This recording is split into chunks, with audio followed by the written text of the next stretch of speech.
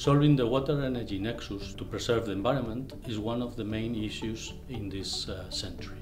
For this reason, the Research and Development Department of Acciona Agua is working on innovative solutions to reduce the energy consumption of the wastewater treatment plants.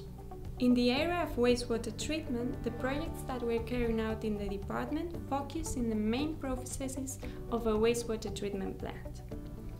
In the biological treatment, which is the core of the treatment, we have the Optian MBR project that aims at developing a low energy technology combining membrane filtration and anaerobic treatment and achieving a high quality effluent for reuse.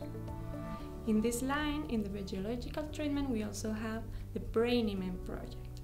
This is a live project that applies expert control system to the biological and the membrane filtration and adapts the aeration of the plant to the specific real-time conditions of the plant.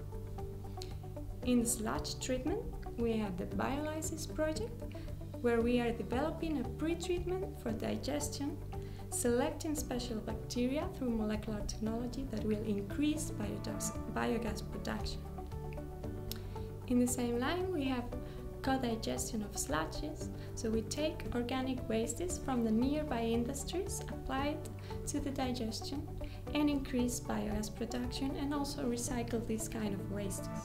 Finally, we have the Renewatt project where we are producing renewable energies and we are integrating this renewable energy production in the plant with solar panels and windmills integrating this production with processes of the wastewater treatment plant with an integrated control system. So with all these projects, what we are aiming at is a, at an energy self-sufficient plant.